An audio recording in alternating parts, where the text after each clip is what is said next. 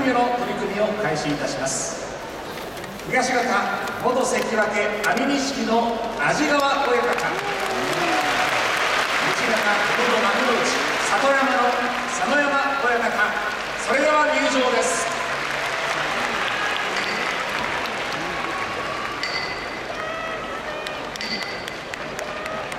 さあ会場の皆様どうぞ両親方に大きな盛大な拍手をお送りください。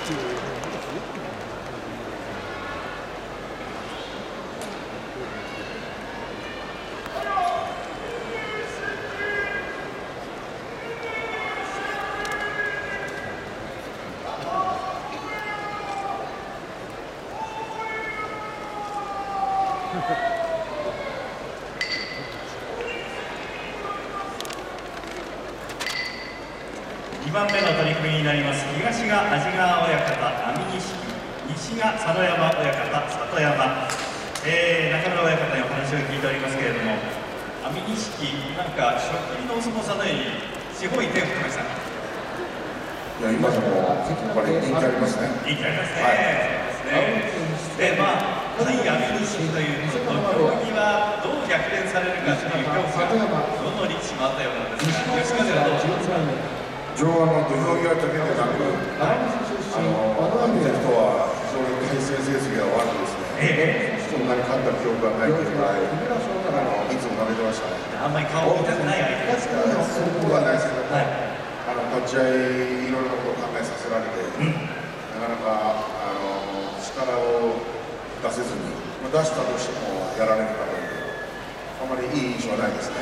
はい、現役時代3勝は殊勲4回関東2回美濃6回という技師網錦一方の里山、えー、小兵なんですがいろいろとこの人も技師でしたね。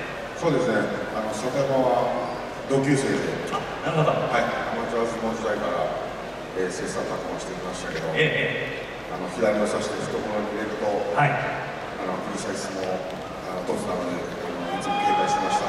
ですから、まあ、里山は左を差してという左四つ得意、網錦は右四つ、いわゆる展開四つになりますか？そうですね、でも網関はあのどっちを回しとって立ち上げを打てますし、はいはいはい、あのいろいろなことができるので、ええ、私同士の対戦で、ええ、それはクロートコノミストの取り組みですね。技の応酬が果たしてどんな形で展開されていくのかお楽しみください網錦対里山です。オープン戦2つ目の取り組み時間いっぱいになりました。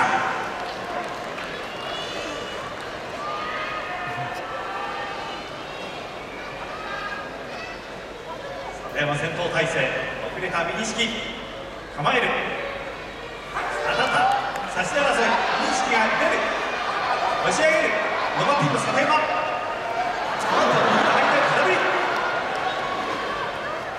どちらもさせない話がいってない。左四つになりました。左に刺した。里山。出し投げ。これの18番